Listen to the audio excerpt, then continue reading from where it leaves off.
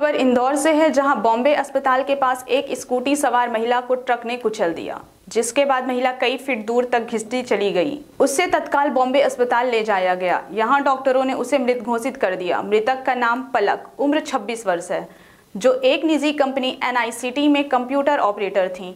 हादसे के वक्त वो स्कूटी से ऑफ़िस जा रही थी। पलक सड़क क्रॉस कर रही थी, तभी पीछे से आ रहे ट्रक ने चपेट में ले लिया। सुखलिया निवासी पलक के पिता धर्मेंद्र ने बताया कि उसकी शादी पाँच साल पहले नंदा नगर में रहने वाले विपिन से हुई थी। तीन साल पहले दोनों अलग हो गए थे। हादसे के बाद पुलिस ने ट्रक को जब्त कर लिया है। घटना शुक्रवार शाम करीब छह बजे की है। ट्रक की स्कूटी को कुचलते हुए वीडियो भी सामने आया है।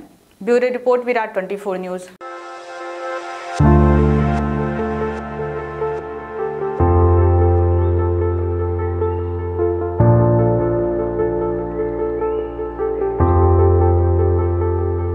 सर्व सुविधा युक्त नेशनल हॉस्पिटल समान तिराहा रीवा में।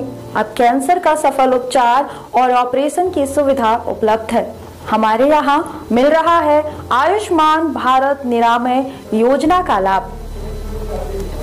आयुष्मान जन आरोग्य योजना के तहत सभी प्रकार के मेडिक्लेम की सुविधा उपलब्ध है।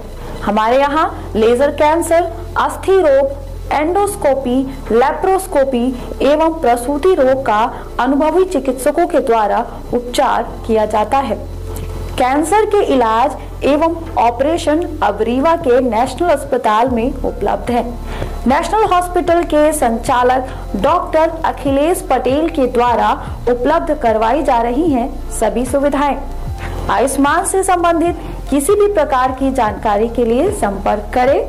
मोबाइल नंबर नौ छ नौ एक दो आठ आठ पाँच छ शून्य पर या फिर संपर्क करें सात पाँच छ छ आठ तीन एक पाँच पाँच एक पर। हमारा पता है नेशनल हॉस्पिटल समान तिराहा रीवा।